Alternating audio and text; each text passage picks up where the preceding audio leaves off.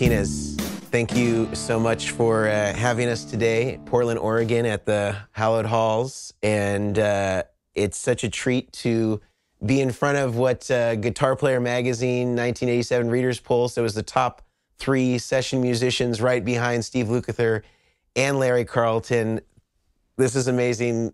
Thank you again for uh, just inviting us to uh, to talk to you today about your career as a session musician, as a touring musician, and as a solo artist. Thank you. It's great to be. Good to see you, man. Yeah. It's been a minute. It's been 10, 10 years. years. 10 years, yeah. It's been 10 years uh, since we've seen each other. Yeah, good to see you, and thanks so much for flying up, man. I'm so happy to be here. Actually, you know, it's really cool. you know, Absolutely. privileged, and you know, gosh, I mean, when I think about just what you mentioned there, being you know included with those two cats, man, are just giants in my book. So Well, I, I think we're going to get to explain to people who are watching this a whole lot more of, of why you're in just such a distinguished group of people in in just your musical accomplishments. Whether we're talking about your work with Run DMC, Tina Turner, Robert Palmer, uh, just the Joe Cocker, Mick Jagger, David Lee Roth. It's like it's just these icons after icons after icons, and you've been a part of the music. You've been a part of the the session community in, in sort of a dissimilar community to a lot of the people that we normally interview, which are more LA based. You Mm-hmm. Yeah. are a New York based session Yes. musician primarily from Yeah. throughout your career. And so we're going to get to hear, I think, a lot about how that worked, your your work on a lot of these hit songs. And I, I don't really want to waste any time to getting to some of the amazing guitar playing that you did. I think we can probably safely say for most people that are familiar with you and your work, they probably most closely associate you with Robert Palmer. Would you would you characterize that as as the artist that you're most closely associated with? Yeah, I, I think that's really accurate because um, I played on hit records before I worked with Robert, but I, I believe that my work with Robert really kind of was the moment for me that kind of I created my identity within the context of his music. Yeah. And I was to I was able to like really apply things that I was hearing because working with Robert was just a wonderful collaboration with, Yeah. with him and, and Bernard uh, Edwards on that first album and Jason Corsaro as well, who engineered that, uh, recorded everything, and then subsequently ET that mixed it. Mm. Right. And uh, just a great, it was a great experience. It was great. So the the two songs I want to focus on for Robert Palmer is "Addicted to Love" and "Simply Irresistible." And I think we should start first with "Addicted to Love," going chronologically. That was ni- 1985. You had recorded Mm-hmm. yeah, it. Yeah, we recorded that. I think it was around November of '85, right around Thanksgiving. Okay. Because we were in the Bahamas in Nassau. That's where Robert lived. Okay. and uh, we went down there and uh, I think a few days of like pre-production and listening to the tracks, and then we went in to Compass Point and recorded that, and and it was it was just awesome working with Robert and Bernard. It was really an, an interesting uh, collaboration. Uh, anything about the "Addicted to Love" session, uh, and that was on Riptide. It was the album. Yeah, yeah, Riptide. wait, what do you remember about that particular song? Like how evolved it was when you had gotten into the studio? Like what what do you remember about it? well, I remember Robert telling me that he dreamt the song number one. Okay. Yeah, he woke up in the middle, middle of the night, you know, you know, and just the lyrics popped out. Mm-hmm. And he had a rough demo of it, and we listened to that, and then we put our, our you know, our thing on it. Mm-hmm. You know, because I think part of being a session player is, is, um, is more than your proficiency on the instrument is what what you hear, and uh, what you can contribute in serving the song. And as far as your guitar sound, what were sort of the the components of what made that up? Because it's it's a nice, you had a beautiful distortion sound. There's like a clean guitar in there. Yeah.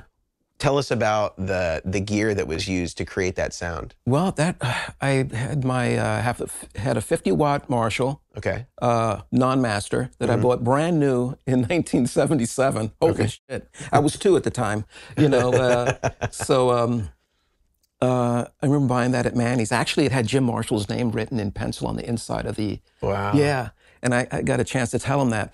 But um, that uh, single four x twelve with 25 watt uh, greenbacks in it Okay. and it was up in uh, what was considered the the, the live chamber at Compass Point, which which was like up a flight. Okay. And uh, it wasn't really a big chamber. It was a small, actually, probably about the size of this room. Okay. But uh, Jason had put a lot of close mics on it, and that was the fundamental sound for the rhythm thing. Okay. And then for the solo thing, we did it. We cut it. Jason and I were in the studio alone, and we did it at midnight, you know, because we just worked on the sound. And Jason had an idea. He liked the, he liked liked the width of the of the Marshall, but he felt for the solo it, it needed a bit of, of a point to it. So what he did, he out of these blankets, he created like almost like a volcano, you know, and he put a Fostex. Uh, um, remember the Fostex Yeah. things from way back in the '80s? So he put one of those in there, right? And then he, I think he dropped the 57 right at at the at the at the Like the at the apex point, of yeah, it. the apex of it. oh my god! and uh, that was the point for the solo. wow. And uh, so we, we had a, you know, he took a feed off of the Marshall Uh-huh. and threw that. So he combined both those elements together. And, and then I've had a Proco Rat that I uh, had one of the big box ones I bought in LA, Yeah. like way back. And uh, No that was LED. Yeah, yeah, yeah, no LED. And that was the fundamental for a lot of that Riptide album. Wow. And then for the clean guitar, was that just like another layer that was just added after? Like, there's a beautiful part in that song where um, where you go to the the F sharp. Yeah, yeah. Um, Yeah, and- there was an interesting story with that. At that point, we had moved to the studio, Studio B, which had a really funky MCI board that was crosstalk and all sorts, sorts of funky stuff happening. And Jason said, oh, "Guys, give me, you know, give me a minute. I need to figure out how to record some of these clean sounds, especially like uh, the middle section on, on on Addicted and Didn't Mean to Turn You On and Yeah. and all that stuff." So. What he did was he bypassed the board, and at that time Robert had a, um, a Sony uh, Beta F1, which was a digital recorder. So he bypassed the board and used, uh, um, I think we had a DI, maybe there was a, I think it was a DI with a Tokai exciter pedal, okay. right?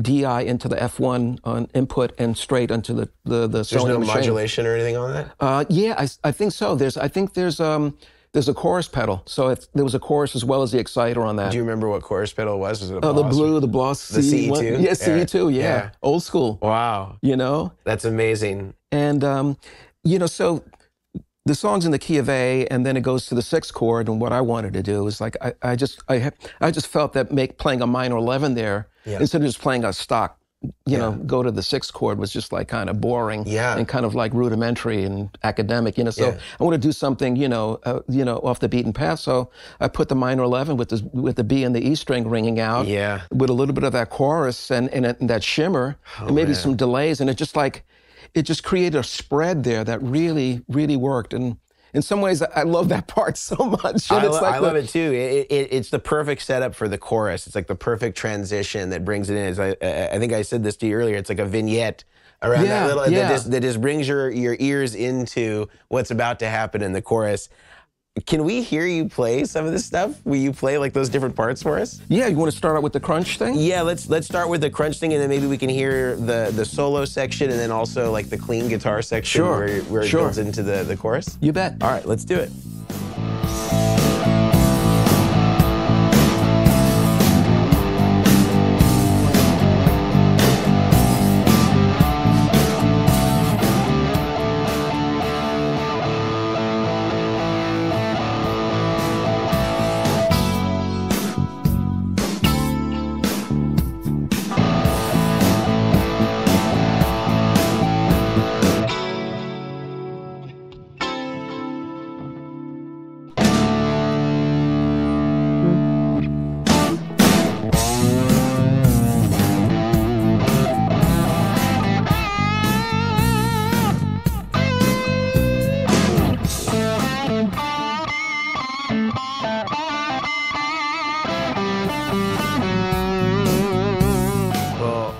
I I'm absolutely astonished of like all the cool guitar parts on this, like all the stuff that you played. I want to continue with the Robert Palmer stuff and move on to Heavy Nova, which was 1988. 88 yes And that had Simply Irresistible, huge hit, which you also played on. yep What can you tell us about what is remarkable about that session? Anything that, that you remember, any stories, anything that you could tell us about the gear? I'd love to hear that.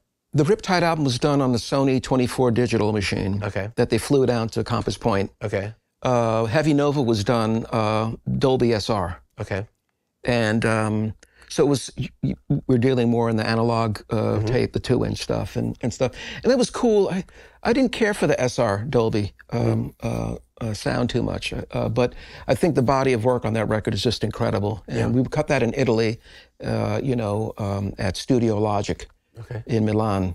and uh, it was it was so much fun. Yeah. It was so much fun. It was a whole different thing for me. I had a JCM 800 that was modified by Harry Kolbe, and I did some slaving with that, you know. But that album really covered a lot of different styles mm-hmm. for me uh, as a guitarist. I mean, I was playing arch tops, I was playing flat tops, uh, I was playing uh, 12 string. Mm-hmm. I mean, there's a 12 string on Simply Irresistible, believe it or not, but played through acoustic? like acoustic. No, no, uh, an electric through through the rig.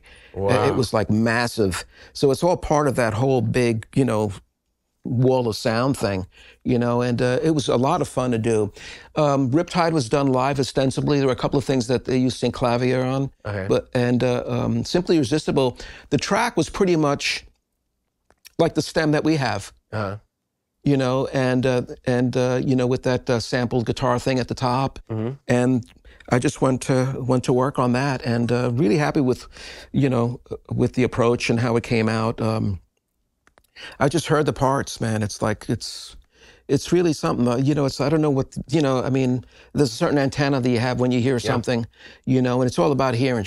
Absolutely. You know, and uh, you know, if if you hear stuff and you you can you can put down what you hear, um, you know, uh, I, I, think it's you really cut to the chase. Yeah. And uh, there's so many schools of thought on that. You know, sure. You know, I've been to sessions. I've done sessions where, where, I heard immediately the part. Yeah. And the producer says, "No, no, let's try this. Let's try that." So three hours later, four hours later, you play the first thing. You, That's it. Yeah, the yeah. first thing that Yeah. you played, and it just takes. Sometimes the process is circuitous. You know, it's like you know, it's a, it's a big circle. You wind up where it's you're supposed to be. Yeah. Well, I've always said, you know, in, in other interviews that I've done with other session greats like you, that that you know, you guys are are are such undercredited arrangers because you are, are essentially arranging on the spot to make the song whatever it is, and a lot of times these chord charts or these songs are skeletons, and what becomes part of the hook is invariably things that Yeah. you know you've come up with. And so I think that that I think for all these thing. songs that we're playing today, I don't think there were charts on anything. Yeah, it was just it was just the, the band feeling it in the context of Yeah. or, or in this case a track that was the, already the track and you know you you either you learn it or you just write you know uh, like a, a flow chart Yeah. you know in terms of where the kicks are and, and all that and you know What was the gear on this song that you used other than the the Marshall? What was the guitar or pedals or rack gear? uh, um, the gear was uh, Grover Jackson gave me one really uh, um, a very early dinky soloist Uh-huh. in BMW Orange and I think there were three of those guitars made and Jeff Beck had one I think Okay. they're single coils in his Okay. and a very good friend of mine John McCurry had one as well Okay. and a, a great uh, player in New York, studio musician. Okay. And then I had one with single single hum configuration with the Floyd Rose. I'd never had a guitar with a Floyd Rose before. Okay. And uh, you know the compound radius thing. It was like it was like a, a Ferrari. Right. You know what I mean? So it was a real, it was a whole different learning curve. You know, it just made things so easy. It was like almost too easy because you know I'm I'm playing Strats ostensibly, you Yeah. know, or uh, an occasional Gibson. Yeah. But it was like it was like a hot rod, Okay. and So it was so much fun. It was really a lot of fun. I bet. I mean, having the Floyd Rose, and you know, once you got those dialed in, you could really go crazy. Yeah, the first track I used uh, uh, it on was um, a, a track on the Riptide album called "Discipline of Love," Okay. and which is a killer, funky ass track. And uh, and then I used it on on uh, Simply. And and did you use any pedals or any processing stuff on that? Um, no, I, it was I had a um, JCM 800 modified by Harry and uh, Harry Kolbe, and then it went into this box that he had that turned speaker level to line level. Okay. And then we slaved some uh, Yamaha power amp. I don't even know if it was tube or transistor. I, I don't remember. Okay. And we had just a bevy of four x twelves in the room, and it was just like so freaking enormous. Wow. You know, it was it was so much fun. You wow. Know? Well, what what guitar do you want to try this with? I want to hear how, what you were doing. Yeah, I've got something with single single hum uh, Suhr guitar that uh, All right. that I want to use on this. All right, let's hear it. Bye.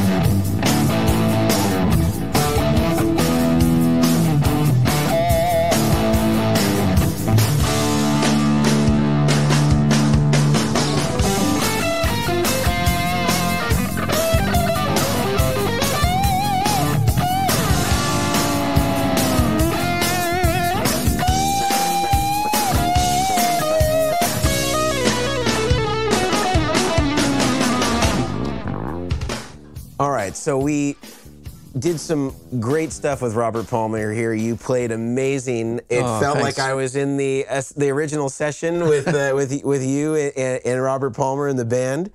But I want to move on to I think arguably one of Steve Winwood's best records of all time. Uh, certainly one of my favorites. Back in the High Life, and that was 80, 86? Yeah, it was 86. Although Oh, maybe the session was before No, that. it was before that. Um, it was uh, either early 86 or late 85. Okay. It could have, you know, it could have been maybe around August of 85 or something like that. Okay. And uh, it was a fast session, you know, and um, and uh, I, I remember that day I was also recording with a great Japanese artist by the name of Akiko Yano. Mm -hmm. And uh, so it was fun. Jason was uh, engineering and working with uh, Russ Titelman, which is always a, a joy.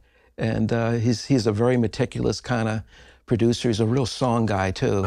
And um, and uh, you know, it's like uh, I just know what he likes. Yeah. You know, he likes that kind of slinky stuff. It's like I think at a, there were certain uh, producers that I work with, which some was just wanted the big stuff, the Yeah. big big sounds. Like when I work with Jim Steinman on Bat Out of Hell 2 Yeah. and all that, you know, those were really enormous big sounds and big productions.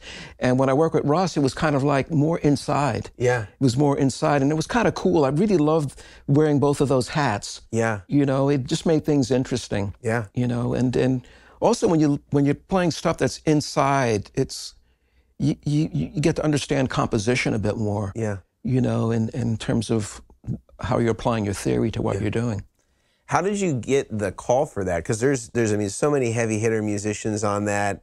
Um, Joe Walsh is on one of the songs that you played on. Nile Rodgers is on one. Yeah. Of course, you have the the great drummer uh, Jr. Oh, yeah, Just- JR. just Oh, just man. just you know ha- has some incredible drum sounds on on on this Yeah. album. Um, yeah, how did how did you get the call for this? uh Russ's office called me up. I forget who called. Somebody from his office Uh-huh. called up and asked me if I was available. And uh, I'd known. My, I think I worked with him on a thing for Krush Groove. Okay. A track with Chaka. Okay, you know, and um, and he, called me up and you know just did what I did, yeah, and I was Studio C at Power Station. There was a on a there was a, they still have the SSL back in those days, Okay. you know, and uh, so it was, it was cool. And what was the what was the gear? I guess we should start. We should we should start first with Higher Love. Uh, yeah, What what was the what was like the session like? What was the gear that you used on on Higher Love? Higher Love was that red Strat that I used on Addicted. Okay, the one with the EMGs. Yeah, with the EMGs Okay. and DI. DI. DI, No, no- effects, no, compression. or- Uh, uh, I'm I'm sure that maybe compression was uh, used afterwards and stuff Okay. like that, or maybe in the process of recording. okay. Uh, but you know, when you're working with Jason Corsaro, and I think Roy Roy Hendrickson was also might have been engineering or, or assisting Uh-huh. that day, and he's he's become an enormously successful uh, Right, yeah. uh, uh, engineer, and um, so I, I'm I'm sure that stuff was done, you know, post, yeah. You know. And was Steve in the room when this stuff is is happening? Yeah, or- Steve was around, and um, uh, the, the there were reference vocals, and I'm saying these are reference vocals. It was just so Uh-huh. freaking great. so like the lyrics maybe weren't fully sussed out at that point, or or was it? I heard the lyrics. There was a lot of stuff. Um, Joe Walsh's guitar wasn't on yet on um, on uh, Freedom, Freedom Overspill, Overspill, yeah.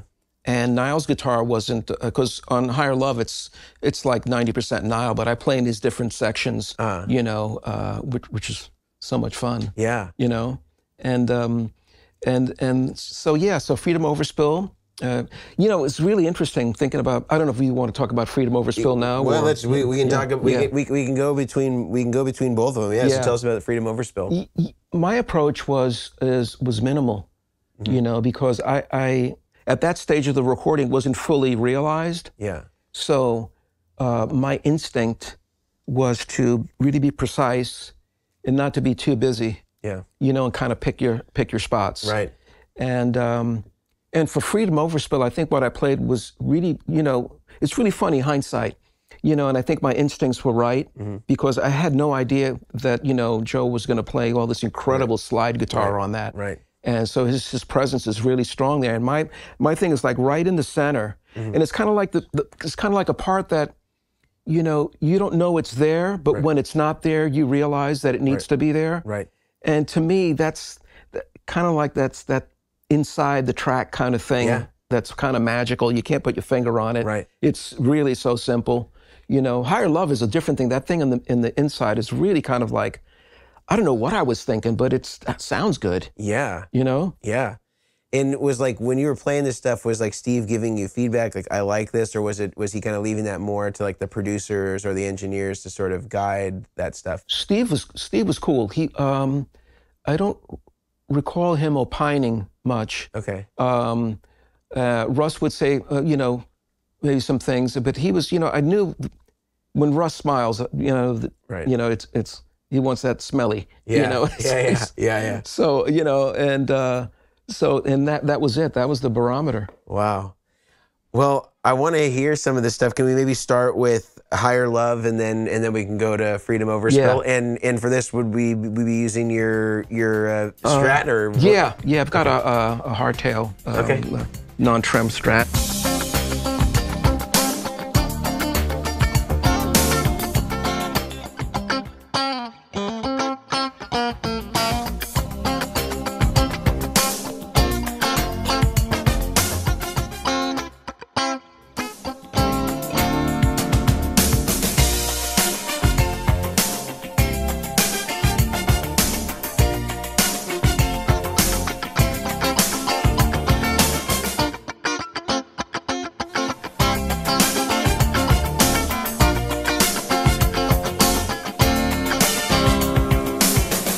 Wow, that's uh, it. It actually is way more complicated than than you think. You're you're in there. You're doing all these fills. You got Nile Rodgers also like kind of doing all these different yeah, layers. trying to do the Nile rhythm thing, which is inimitable. You know yeah, what I mean? Yeah, yeah, yeah. But it's it's it's a great DI tone. It cuts so well, and it, and it's actually like a pretty funky, a funkier guitar part than you might think for a, a Steve Winwood song. You know, it's just like yeah, you know, it's like looking back on it, it's really funny. I'm, I'm trying to figure out what my mindset was that day. Yeah. You know what I mean? But it's one of those things that just happens, and and just I knew that Russ dug it. yeah, You know. Yeah. And uh, so that that's cool. And here in Nile, because I didn't, I, Nile didn't hadn't played on it. Right. You know, so he played on after I did. You know, Right. and what he did was great. And he's one of my oldest friends. Yeah. we went to high school together. Yeah. Yeah. Yeah, I mean it's it sounds incredible, and and I, I love the parts. I love just like as you said earlier about kind of just like staying in the middle, and and it gives the space to be able to add on somebody like a Nile Rodgers, or in the case of uh, Freedom Overspill, you have you know that space Yeah, for yeah. Joe Walsh. And speaking of Freedom Overspill, I want to hear some of what you did on that one as well. So if Oh, we yeah, can sure. move into that, are we gonna stick with the same guitar on this one? Yeah, same All right, guitar. All right, let's hear a little bit of what you did on that one. Yeah.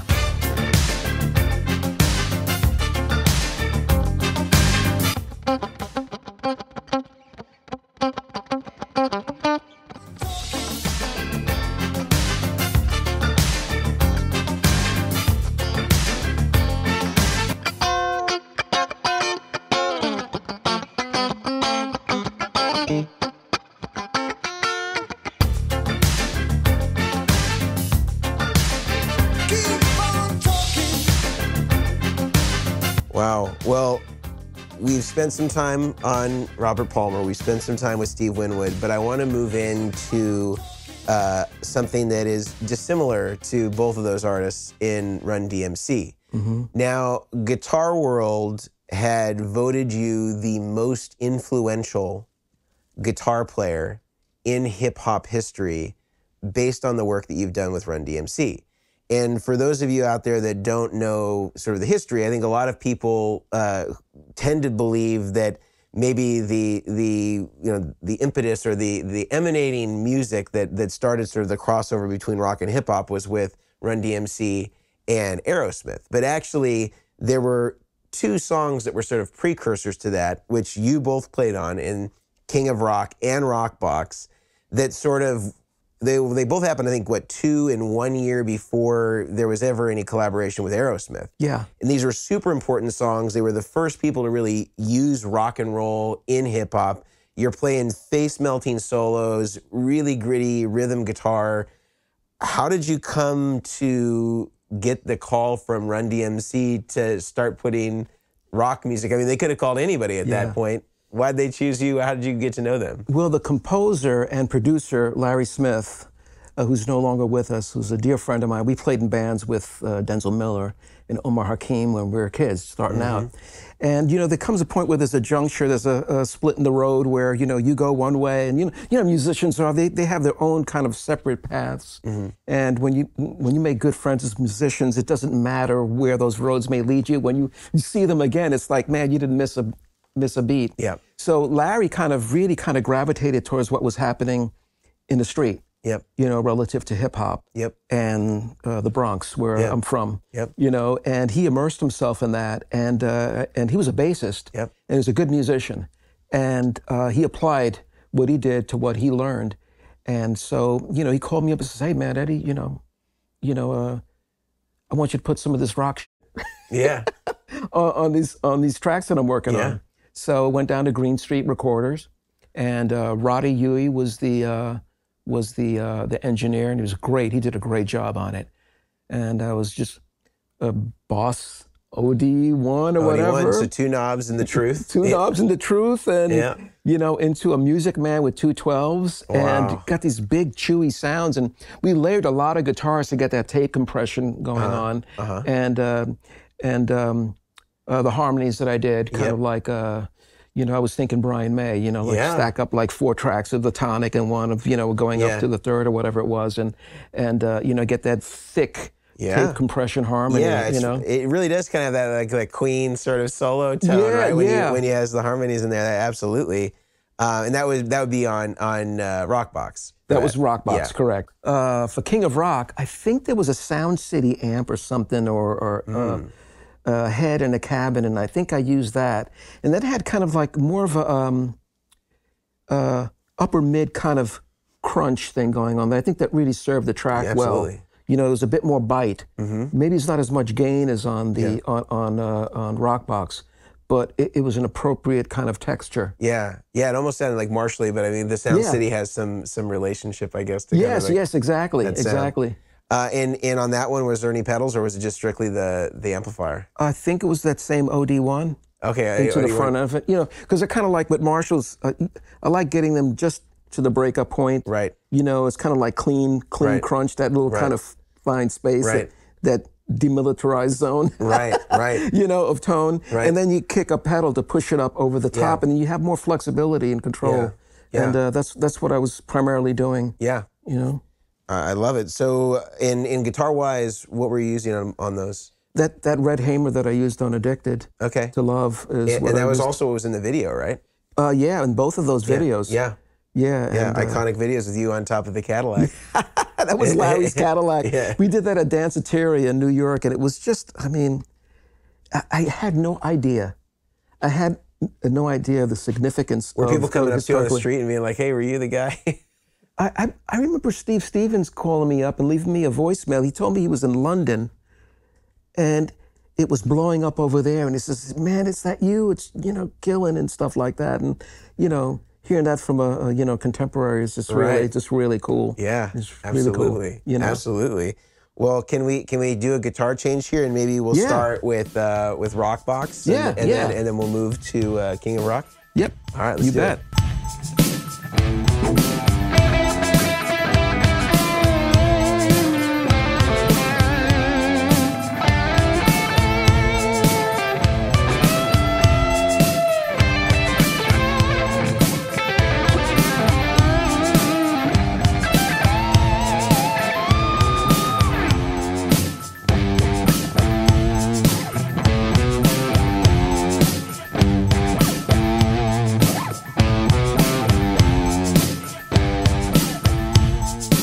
Those harmonies are insanely good. Like I never put it together when I heard that song that, that it would be going for a Brian May thing, but then when you say it and then I hear it, it, it completely makes sense. I wonder even if like Run DMC like was even aware of that connection of like what you were going for. Were they in the studio with you? Um, yes and no. At the beginning of the session, they were there. Okay. They split.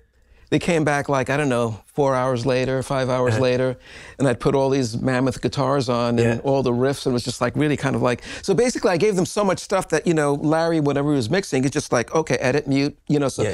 it, it became Right. like a, a, um, a mosaic of Right. him punching things in and out.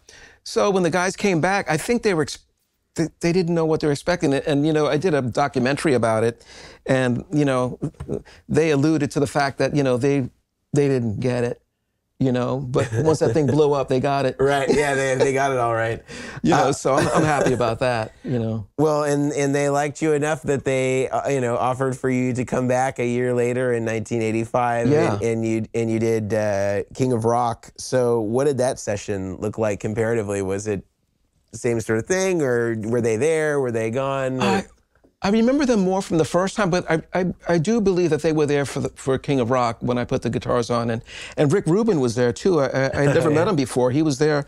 He was in the studio, but I don't I don't believe he was participating in production. I think he was just like really kind of like just Yeah. hanging. yeah.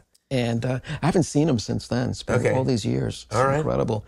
And um, and man, it was just it, it was like magic again. Yeah. You know, it was just like, you know, Larry just, you know, when I got to the studio, it's like, a, as with, uh, with a Rock Box, it was a DMX drum machine Yep. and that keyboard, you know, and Larry's bass. Yeah. And that was, it was just built off of, of that. Yeah. know. So it was Spartan when I would get there, you know, it was just beats and a, and a, and a bass line, All right. Well, which was great. You know, it's like kind of like, oh man, I've got all this room. I just felt like a mad scientist, yeah. you know? I love it. Well, and and those are some iconic guitar tones. And again, as I said, they really paved the way for what you know came to be the the collaboration with Aerosmith. Which you know, again, I think a lot of people maybe uh, not realizing un- don't understand that there was all these great rock tones that were in you know earlier D- you know, Yeah. DMC stuff because they just maybe weren't as into hip hop at the time or you know whatever the reason may be, but. I can't wait to hear you play this. This is a great riff too, just so thick and meaty. And you know, I, I always thought it was a Marshall, so I'm glad that Yeah. now it's clarified. It's a Sound City. Um, can you play a little bit of this for us? Yeah, sure. All right.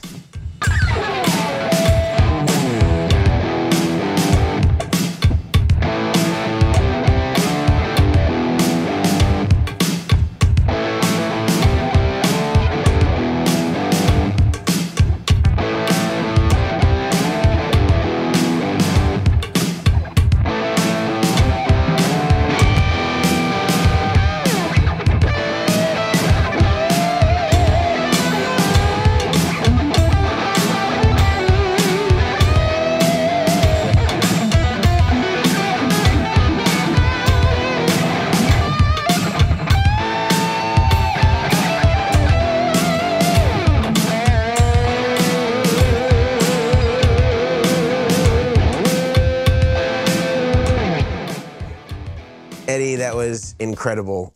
Now, there's one last thing that I want to ask you about before we complete today. Okay. So, there are some really cool old magazine advertisements and photos that I found of you back when you were in sort of the peak of your session and touring career. I want to show you a few of these photos, and I want you to tell us a little bit of the story or the context behind them so that we can kind of hear it again from you about oh. what was going on here. Oh, You- sure. all right, Eddie. So first one is uh, you sitting on top of uh, two Marshall four x twelves with a, uh, a Marshall JMP head. Yep. Do you remember this? I do. I remember that photo session, and the photographer is Ebet Roberts, is a dear friend, very you know acclaimed uh, rock uh, photographer. That was done when I, I you know I signed up with with Marshall, and I was just so I was so happy to be a part of that you know family. Uh-huh. You know, and uh, Mitch Colby was there uh, in those days. Oh yeah. Uh, yeah, and um, and we you know went to a studio and we shot those photographs, and it was just great fun. It was great fun. It was a great association. Those amps really they powered you know the, the Robert Palmer stuff. It Yeah. was just really, you know, uh, really an incredible time. An incredible time. The '80s were, were crazy, but it was fun, and it was the the culmination of a lot of of, of hard work, you know, and um, paying your dues as you're going up the ranks and all that stuff. And it was really kind of, it, if things came into fruition there, there was a really incredible time. My daughter was born around that time, you know, just like, the, just, you know, all these incredible things Yeah. and blessings, you know, Yeah. were happening. And uh, it was, it was, uh, you know, looking back on it, I, it's so funny. It's, I, I, I tell people that, you know, when you're in, you're you're so focused on what you're doing, you're not thinking about. I wasn't thinking about the historical aspect of any of this stuff. Yeah. I was just, you know, okay, uh, it was like, okay, man, I, I just love doing this. Yeah. And I wanted to play on records. I didn't want to play in clubs endlessly. Mm-hmm. You know, that wasn't my thing. You know, being in a top 40 band, just doing covers and stuff like that. I wanted to play on records. And, you know, if I was lucky, I'd have other guitar players playing what I played. Yeah. And um, that dream and that drive, you know, in Spanish there's a word called ganas, and that's kind of like um, desire, you know, uh, you know, the desire to want to accomplish something. And, um, and uh, you know, I just put my, I just, man, I had blindfold, blinders on, blindfolders. I was just like straight ahead. Yeah. And Yeah. um, so now I could, you know, as as I was, you know, when we were in my my my music room, you know, and it's the first time that I've put those records up, you know, I because I wasn't thinking in that context, Yeah. you know, and uh, so uh, interesting. Yeah. All right, you ready for the next one? Yes. All right, next one is uh, here. Here you are, martial law, Yes. side by side. Uh, Eric Johnson. Uh, now, I, I presume that these are just superimposed photos. Yeah, they were superimposed, Not that and- Eric Johnson was on the other side of the Marshall stack. No, I mean just sharing the cover with someone that is that iconic of a guitarist. I mean, I I first heard Eric in 1976. A friend of mine uh, uh, played a cassette, Okay. uh, uh, and I was I was blown away in '76. Yeah. And then so like when what um, the Tones album came out, and was that '85 or '86? Yeah, but even earlier than that, like I'm, I think the first big album he played on, which wasn't his, was Christopher Cross. Oh, yeah, yeah. Minstrel Gigolo is the name of the song. Yes, yes. and uh, you know, so needless to say, uh, you know, I'm so, I've never had the chance to meet him, but I would I, I look forward to the day that if I do meet him to shake his hand, because he's such an incredible contributor to to what we do. And I noticed you got the checkered vans on there. Yeah, and, man. And, and it looks like the same guitar that you're holding here. right now. Yes, yes. Yeah. I got those kicks at uh, Trash and Vaudeville. You know, on, on uh, uh, I was on in the village, East Village. Yeah. All right. The last photo that I have for you is you and Stevie Ray Vaughan, uh, both in red shirts. Uh, Yeah. Stevie Ray Vaughan is sleeveless, of course. Yes.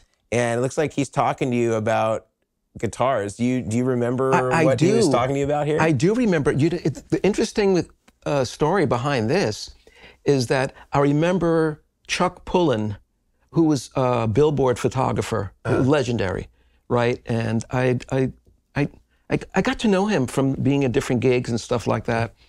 And I lost touch with him, but I do remember him taking photographs. Mm-hmm. And I called Ebet Roberts, the photographer that I was just mm-hmm. talking to you about in the previous photo. I says, you know, do you know Chuck Pulin? He says, oh, yeah, he's really one, one of my dearest friends. She gave me his number. I called him up, and this has got to be around 84, maybe 85. And I called him up, and he says, you know, Eddie, he was still in the analog world. He didn't digitize any of his things uh, back then. This is about maybe eight, nine years ago okay. you know.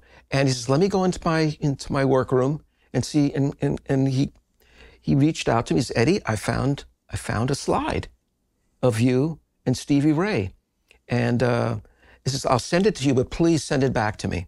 You know, so he sent sent it back. He sent it to me. I made copies of it and I sent it back to him.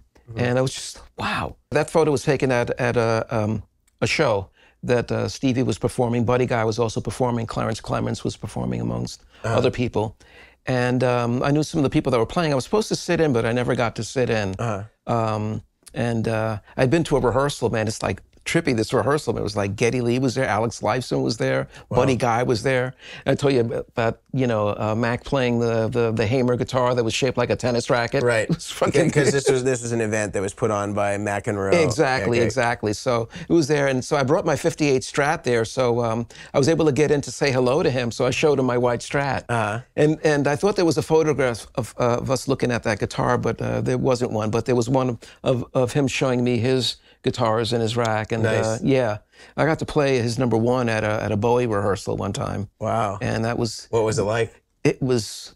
It was like I was trying to bend railroad tracks, man. There was like 13s on there, and uh, Do you remember whether it was heavy or light or just normal or? It seemed it it did it wasn't extraordinarily light. I wouldn't say it was heavy. I would say it was like right around the weight of my my 65 that I Yeah. you okay. know yeah, so somewhere around mid, seven sevens. Yeah, exactly. Okay. And um, so uh, and I'd gotten to know him uh, at Power Station because I remember when the Bowie album was being made, and all my friends played on it. Omar and Bernard, uh, my man, Bernard Edwards. I can't even begin to tell you, you know, uh, his contribution to my career Yeah. and my success. He was really a mentor and a great producer.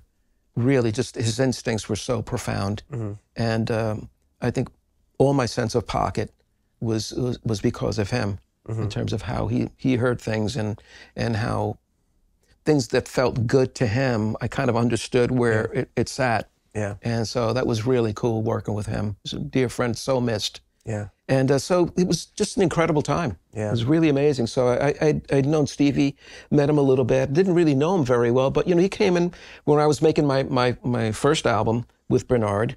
Um, uh, he came in to say hello and stuff. And it was really kind of really nice cat, Yeah. kind of quiet, demure, Yeah. I would say. You know, a really nice person. Yeah.